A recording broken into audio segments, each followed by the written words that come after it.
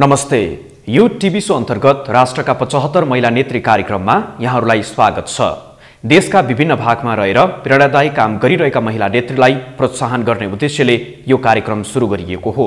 आफूले गरेका काम र सफलताको कथा लिएर आउँदै हुनुहुन्छ काठमाडौँ जिल्लाबाट छनौट हुनुभएकी सम्झना खरेल। उहाँ कान्जिरुवा नेसनल उमा बिमा प्राचार्यको रूपमा कार्यरत हुनुहुन्छ। मैले हालको कान्जिरोबा पहिला काठमाडौँ डन बस्कोमा नाइन्टिन नाइन्टी नाइन अहिले सत्र वर्ष भयो।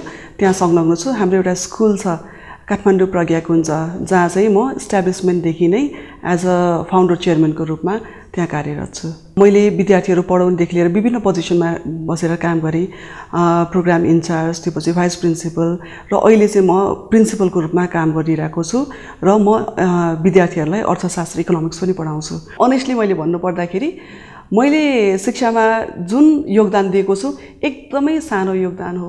मैले धेरै गर्न बाँकी छ। गर्नु छ धेरै नै। मेरो अठोट पनि छ म केही गर्छु शिक्षामा। मलाई कहाँनिर सेटिस्फ्याक्सन हुन्छ भने आफ्नो विद्यार्थीहरू अहिलेसम्म सत्र वर्षमा हजारौँ विद्यार्थीहरू हामी कहाँबाट ग्रेजुएट भइसके विद्यार्थीहरू देशमा र अन्तर्राष्ट्रिय स्तरमा पनि विद्यार्थीहरू जुन तरिकाले आफूले आफूलाई इस्टाब्लिस गरेका छन् त्यो देख्दाखेरि चाहिँ खुसी लाग्छ। त्यहीँनिर आफूले पनि केही गरेको छु कि भन्ने जस्तो लाग्छ। यो पढाउने टिचिङमा चाहिँ डिफ्रेन्ट टेक्नोलोजीहरूको बारेमा चाहिँ मैले रिसर्च पनि गरेको थिएँ। एउटा रिसर्चको सिलसिलामा म अमेरिकामा गएर अमेरिकाको लस भेकसमा गएर एउटा पेपर प्रेजेन्ट गरेको थिएँ। कुन चाहिँ पद्धतिले पढाउँदाखेरि इन्स्ट्रक्सनल मेथोडोलोजी कुन चाहिँले गर्दाखेरि विद्यार्थीले राम्रोसित बुझ्छन् त भनेर हामीले रिसर्च गरेको थियौँ।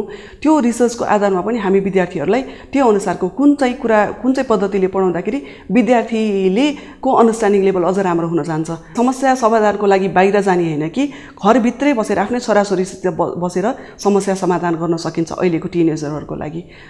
मलाई चाहिँ सबभन्दा ठुलो कुरा पेरेन्ट्सहरूले आफ्नो बच्चालाई टाइम दिनु पऱ्यो र बच्चासितको को दूरी जति कम गर्यो त्यति नै बच्चालाई पनि विद्यार्थीहरूलाई पनि पेरेन्ट्सलाई पनि र स्कुललाई पनि राम्रो हुन्छ। शिक्षा नै समाज परिवर्तनको मूल आधार हो। त्यसले गर्दाखेरि शिक्षालाई चाहिँ हामीले एकदमै राम्रोसित अगाडि लिएर जान सक्यौँ भने हाम्रो समाज हाम्रो सोसाइटी सबै कुरामा परिवर्तन ल्याउन सक्छौँ। शिक्षा क्षेत्रलाई अझ राम्रो कसरी बनाउन सक्ने त भनेर त्यो एक्सपोजरको लागि हामी देशका विभिन्न ठाउँहरू स्कुलहरू पनि जान्छौँ। हामीले नेपालमै पनि कम्युनिटी स्कुलसित पनि मिलेर हाम्रो विद्यार्थीहरू हाम्रो टिचरहरूले गएर कम्युनिटी स्कुलमा केही काम गर्नुहुन्छ।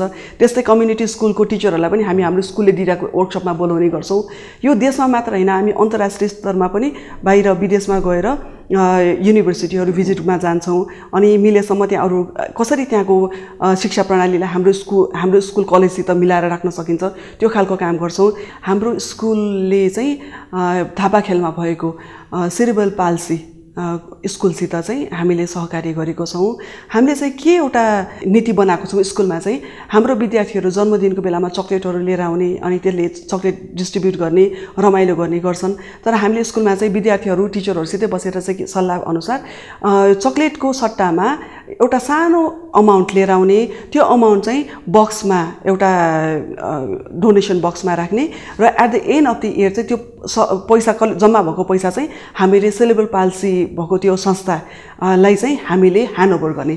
र बेला बेलामा विद्यार्थीहरूलाई पनि त्यो संस्थामा लिएर जाने र विद्या बालबालिकाहरूले कस्तो जीवनयापन गरिरहेका छन् र त्यसबाट लिनुपर्ने शिक्षा के हो त? होइन आफूले गर्नुपर्ने त्यो त्यो ठाउँमा कसरी सहयोग गर्न सकिन्छ त भनेर हामीले हाम्रो स्कुलका नानी बाबुहरूलाई त्यहाँ लगेर पनि उनीहरूसित सँगै राखेर सहकार्य गराउने गरेका छौँ। जुनसुकै क्षेत्रमा पनि शिक्षा हुने बित्तिकै अवेरनेसको स्टेट एकदमै माथि जान्छ। त्यसले गर्दाखेरि महिलाहरूको पोलिसी लेभलमा आउनु अथवा अरू जुनसुकै एरियामा पनि महिलाहरूको सहभागिता हुनको लागि हामीले शिक्षामा नै जोड दिनुपर्छ। राम्रो शिक्षा भयो भने डेफिनेटली महिलाहरू जुनसुकै पोजिसनमा पनि गएर आफ्नो कन्ट्रिब्युसन राष्ट्र निर्माणमा गर्न सक्नुहुन्छ। अवसर एकदमै धेरै छ। अझ नेपाल जस्तो डेभलपिङ कन्ट्री जुन डेभलपमेन्टको प्रो प्रोसेसमा छ त्यहाँ त कति अपर्च्युनिटी छ। अहिले प्रायः प्रायः घरमा महिलाहरूले आफ्नो घर परिवार पनि काम पनि राम्रोसित म्यानेज गरेर अगाडि बढिरहनु भएको जस्तो मलाई लाग्छ। जुन चाहिँ समाजको लागि पनि राम्रो हो। काम गर्दै जाँदाखेरि कुनै समस्या आए पनि त्यो समस्या पर्मानेन्ट भएर आउँदैन कि एकदमै टेम्पोररी मात्र आउँछ। त्यो समस्या आफूले काम गर्दै जाँदाखेरि त्यो आफसे आफ अगाडि क्लियर भएर जान्छ। त्यसले गर्दा समस्यासित डढाउने भन्दा पनि काममा आफ्नो अठोट चाहिँ हुनु पऱ्यो मलाई नै पर्सनल्ली इमेल लेख्न चाहनुहुन्छ अथवा केही स्कुलको बारेमा केही बुझ्न चाहनुहुन्छ भने मेरो इमेल आइडी हो Samjhana Kharel SAMJ H SNA KHAREL Samjhana Kharel at the rate Gmail dot com म जुनसुकै बेला पनि यहाँहरूको रिचमा हुन्छु। राष्ट्रका पचहत्तर महिला नेत्रीमा विजय हुनुभएका सम्पूर्ण महिला नेत्रीलाई हार्दिक बधाई छ। यदि तपाईँ पनि सफल महिला नेत्री हुनुहुन्छ वा राष्ट्रका पचहत्तर महिला नेत्रीमा अरू कसैलाई सिफारिस गर्न चाहनुहुन्छ भने आजै आवेदन दिनुहोस्। हाम्रो सम्पर्क फोन नम्बर हो four two two zero four five nine र हामीलाई GPO two zero zero one three काठमाडौँमा पत्रचार गर्न सक्नुहुन्छ। वा Santosha foundation at the rate Gmail dot कममा इमेल गर्न सक्नुहुन्छ। अर्को साता यो टिभी सो लिएर पुनः उपस्थित हुनेछौँ। नमस्ते।